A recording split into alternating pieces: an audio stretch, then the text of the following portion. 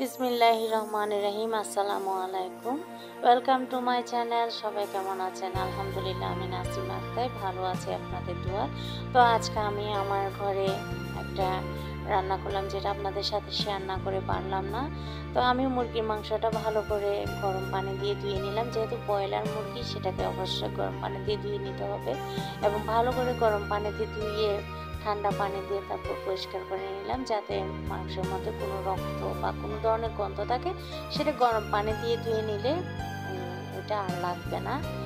তো এখন আমি পরিষ্কার করে ধুয়ে নিলাম, যেটা আমার শাশুড়ি আমাকে শিখিয়েছিল যে গরম পানি দিয়ে ধুলে মাছ, মাংসের মধ্যে কোনো গন্ধ থাকে না।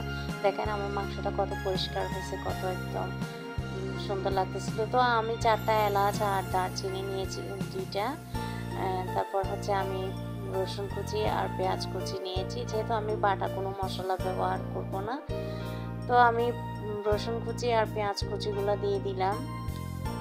তো এখন আমি দু চামচের মতো মরিচ, মরিচের গুঁড়ি দিব। যেটা যদি চাল না হয় বা আপনি যেভাবে খান, এক চামচ হলুদের গুঁড়ি আর তিন চামচের মতো মশলার গুঁড়ি দিলাম।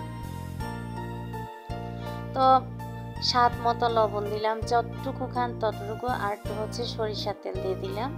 আমার সরিষা তেল দিয়ে মুরগির মাংসটা মেখে নিতে অনেক ভালো লাগে, কারণ এটা আমার শাশুড়ি করতো, উনি এভাবে মুরগির মাংসটা ভালো করে মেখে ম্যারিনেট করে নিয়ে নিত, যেটা এটা উনি খেতেও পছন্দ করতো, আর বিশেষ করে আমরাও খেতে পছন্দ করতাম।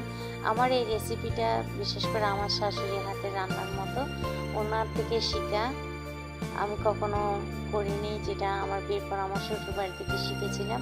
তো এখন আমি কয়েকটা আলু কুচি, একটু করে পেঁয়াজ দিয়ে তেলের উপর ছেড়ে দিয়ে আলু কুচিটা, আলুটা ভালো করে তেলের উপর নেড়ে ছেড়ে নিলাম। এরপর আমি মুরগির মাংসটা ওইখানে আলুর মধ্যে দিয়ে দিলাম।